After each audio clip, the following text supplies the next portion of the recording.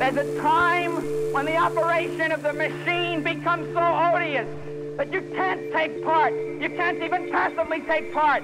And you've got to put your bodies upon the gears and upon the wheel. The most endangered minority in any given community is always the dissident.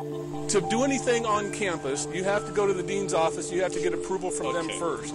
You want a reaction, it, it got a reaction.